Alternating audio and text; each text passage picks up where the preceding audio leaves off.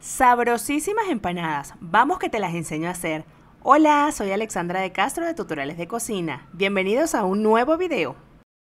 Comenzaré agregando en un bol 600 mililitros de agua e incorporaré 350 gramos de harina de maíz precocida e iré removiendo para que no se hagan grumos. Seguiré agregando la harina y haré el mismo procedimiento. La textura debe ser suavecita porque cuando pasa el tiempo se endurece un poquito. Agregaré media cucharada de sal y 3 cucharadas soperas de azúcar.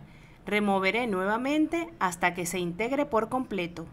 Agregaré 2 cucharadas de harina de trigo y nuevamente integraré muy bien. En este momento me gustaría saber de qué país o ciudad nos miras para enviarte un saludo especial en la próxima receta. Los del día de hoy son para Sol Rodríguez desde Venezuela y Oscar desde Madrid. Gracias por siempre ver y disfrutar nuestras recetas. Ya la masa está lista. La dejaremos reposando por 15 minutos para comenzar a hacer las empanadas. Cortaremos un trozo de papel film. También necesitaremos una taza con agua para humedecer la masa y una taza que no tenga nada para hacerle la forma. Comenzaré tomando la masa y la haré una bolita. Luego le agregaré agua y enseguida en el papel film. Comenzaré a estirar de esta manera. Si has llegado hasta aquí significa que te está gustando la receta, así que déjanos aquí en los comentarios el siguiente mensaje. Me encantan las empanadas. Para enviarte un saludo muy especial. Rellenaré las empanadas y las haré de jamón y queso.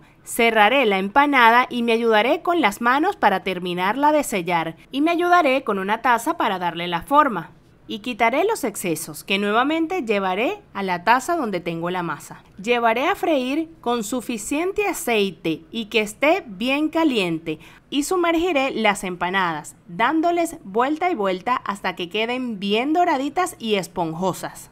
Escurriremos el excedente de aceite y llevaremos a reposar en papel de cocina, así absorberá toda la grasa.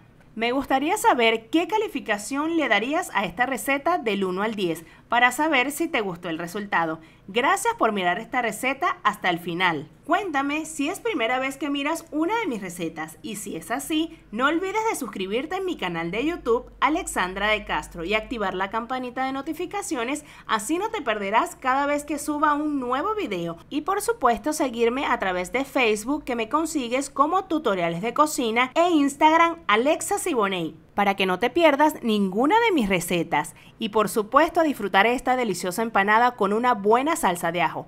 Ya la receta la tienes en mi perfil. Gracias por haber llegado hasta aquí, los quiero un montón, nos vemos en el próximo video, chau chau.